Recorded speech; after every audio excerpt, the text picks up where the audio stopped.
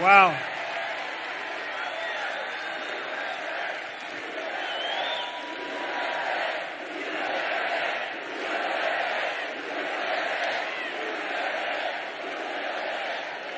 That's terrible. That's what it says. That's what it says.